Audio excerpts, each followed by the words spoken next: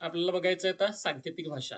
सांकेतिक भाषेमध्ये थोडक्यात काय असतं की ज्यावेळी एखादी गोष्ट आपल्याला दुसऱ्याला सांगायची नसते परंतु दुसऱ्याला ती समजली पाहिजे तिसऱ्याला ती कळालीच नसली पाहिजे असं जर पाहिजे असेल तर आपण त्यासाठी काय करतो? सांकेतिक भाषा सांकेतिक खुणांचा वापर करतो.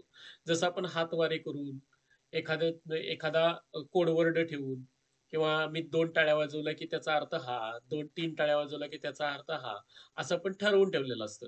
आणि ते ठरवून ठेवल्यानंतर जे आपण काय करत असतो त्याचा उपयोग करतो. त्यानुसार आपल्याला काय मिळतं? की सांकेतिक भाषेमध्ये काही गोष्टी बघायला मिळतात. आता संकेत म्हणजे काय असतात रे? सांकेतिक खुणांची व्यवस्था असते. त्यानंतर बघा अन्य व्यक्तीला माहीत झाल्याशिवाय बघा दुसऱ्या व्यक्तीला माहीत झाल्याशिवाय एका व्यक्तीने दुसऱ्या व्यक्तीला विशिष्ट भाषेत संदेश पाठवणे म्हणजेच काय असतं? सांकेतिक भाषा असते. आता सांकेतिक भाषेत काय वापरलं जातं? अक्षर चिन्ह अंक आकृत्यांचा वापर केला जातो. त्यांचा क्रम आपापसात काय केलेला असतो? बदललेला असतो. काही बदल कर केला जाऊ शकतो. सांकेतिक भाषेचं एक वैशिष्ट्य म्हणजे काय तर बघा?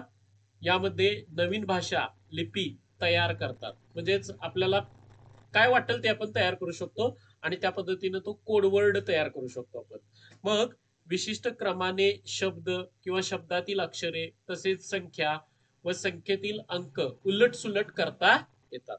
आणि सांकेतिक भाषेत मराठी वर्णमालेचा देखील वापर केला जाऊ शकतो. सांकेतिकरण म्हणजे काय तरी विशिष्ट शब्द अक्षर अंक किंवा चिन्हांच्या सहाय्याने माहिती गुप्त स्वरूपात रूपांतर करणे. बघा इथं महत्त्वाचा मुद्दा हा आहे.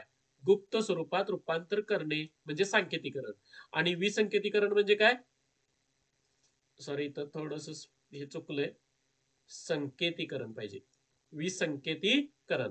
विसंकेतीकरण म्हणजेच काय तर गुप्त माहितीचा उलगडा करण्याची किंवा अर्थ लावण्याची क्षमता. म्हणजे त्याचा अर्थ लावणे. मग आपल्याला तेच करायचं आहे पहिल्यांदा सांकेतिक भाषा दिली जाईल. त्याचा अर्थ लावायचा आणि त्या पद्धतीने दुसऱ्या गोष्टीचा गोष्टीमध्ये त्याचा वापर करायचा. मग याच्यामध्ये आपल्याला वेगवेगळे सांकेतिक भाषेतील प्रश्न कुठल्या प्रकारचे असतात? तर अक्षर अक्षर संकेत असतो. दुसरा अंक अंक संकेत असू शकतो. तिसरा अक्षर अंक संकेत किंवा अंक अक्षर अंक मिश्र संकेत आपण म्हणू शकतो. त्याला काय म्हणू शकतो? मिश्र संकेत. अक्षर चिन्ह अंक चिन्ह संकेत असू शकतो. शब्दाऐवजी नवीन शब्दाचं योजना केलेली असते. एक शब्दाऐवजी दुसरा शब्द. ओके? त्यानंतर चौकट साचा संकेत असतो. कोणत्या प्रकारचा? चौकट साचा संकेत. त्यानंतर पृथक्करण संकेत असू शकतात आणि संश्लिष्ट संकेत असू शकतात.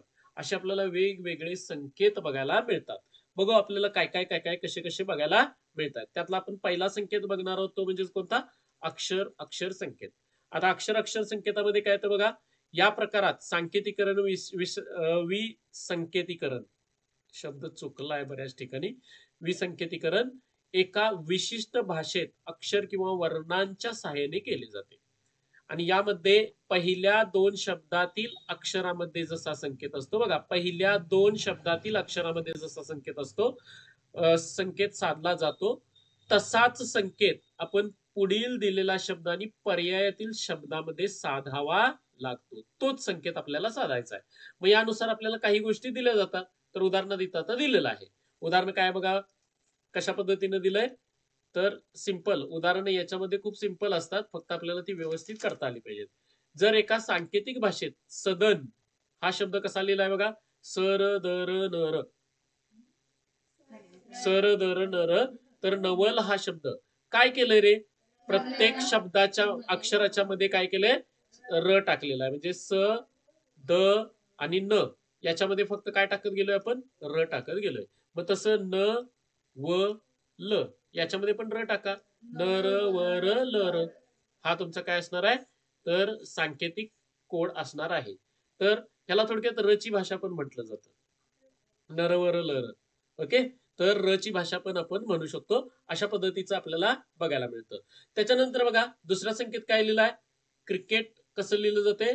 P L P Z L P S A Q. आता काय वेगळं काय केलेलं नाही. बघा याच्यामध्ये आपण काय करायचं? जर तुम्ही बघितलं थोडस डोकं लावून बघितलं तर इथं बघा सी आहे इथं सी आहे. तर इथं पण तुम्हाला काय दिसतंय बघा पी आणि पी. म्हणजे बघा थोडक्यात सी साठी काय आहे रे? पी आहे. आलं लक्षात? मग आता बघा त्यानुसार तुम्ही जर विचारात घेतले तर उरलेले एकमेकांसाठी आहेत. म्हणजे थोडक्यात बघा आरसाठी काय सांगा? झेड. आरसाठी काय येणार आहे? झेड. म्हणजे थोडक्यात बघा मी डायरेक्ट आता ते खालीच लिहितो त्याच्या. कशा पद्धतीने येणार? तर इथं आपण C R I C K E T याच्या खालीच आपण लिहून टाकूया पी झेड यल त्याच्यानंतर पी एस ए क्यू याचा अर्थ काय झाला? सी साठी पी आहे आरसाठी झेड आहे आयसाठी यल आहे सी साठी पी आहे के साठी यस आहे ई साठी ए आहे आणि टी साठी क्यू आहे. मग आपल्याला किक लिहायला सांगितलंय. काय येणार? ठीक लिहायला सांगितलेलं आहे. मग आता के साठी काय बघा रे? यस इथं काय येणार? यस आयसाठी काय आहे? यल सी साठी काय आहे बघा? पी आणि के साठी परत काय येणार? S S L P S हे तुमचं काय असणार आहे? याच्यासाठीच उत्तर असणार आहे. ठीक आहे? त्यानंतर बघा पुढे काय लिहिलंय? रोड हा शब्द या पद्धतीने लिहिला. तर याच्यासाठी काय असेल? तर आता याच्यामध्ये मात्र तुम्हाला काय विचारात घ्यावं लागेल? एबीसीडी सगळी विचारात घ्यावी लागेल. कारण का इथं तुम्हाला असं कोणत्याही प्रकारचा डायरेक्टली काय केलंय हा संकेत कुणासाठी येईल असं विचारलं किंवा कोणत्या शब्दासाठी येईल? म्हणजे उलटा विचारला प्रश्न. शब्द देऊन त्याचा संकेत काढायला सांगितलेलं नाही. संकेत देऊन त्याचा काय काढायला सांगितलाय? शब्द काढायला सांगितलाय. मग आता बघा त्याच्यासाठी परत तुम्ही एबीसीडी लिहायला पाहिजे. A B C D E F G H I I त्याच्यानंतर J K L M N O P त्यानंतर Q R S T U V W X Y Z आता बघा. आर ओ ए डी आता बघा. आरसाठी काय घेतलंय बघा? W थोडक्यात आपण म्हणू शकतो. तर इथंकडे गेलं ते? आरसाठी काय आहे? डब्ल्यू बघा. एक दोन तीन चारमध्ये सोडल्यात. त्यानंतर ओ साठी काय आहे बघा रे? टी. ओ साठी काय आहे? टी. नाही का? टी. किती सोडले? चारमध्ये सोडलेले आहेत. ए साठी काय आहे बघा? एफ. ए साठी काय आहे? एफ. मध्ये किती सोडले? चार. डी साठी काय आहे बघा? आय. डी साठी किती आहे? आय. मध्ये किती सोडले? चार. म्हणजे चार प्रत्येकी सोडलेले आहेत. मग आता जीच्या अगोदर चार कोण येते बघायला पाहिजे ना? जीच्या अगोदर एक दोन तीन चार सोडलं तर पहिलं काय येणार? बी त्यानंतर जे जे कोणासाठी आहे? जेच्या अगोदर चार सोडून. एक दोन तीन चार सोडलं तर ई त्यानंतर एफ एफ च्या अगोदर चार. एफ एफ इथं दिसतंयच आपल्याला. एफसाठी काय येणार? ए त्यानंतर वाय वाय च्या अगोदर चार. एक दोन तीन चार सोडलं तर टी म्हणजेच बीट. या शब्दासाठी कोणता संकेत आलाय तुमचा?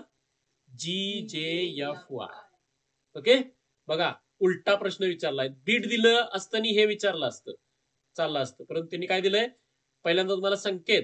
तर हे हा संकेत कोणत्या शब्दासाठी होईल? कोणत्या शब्दासाठी?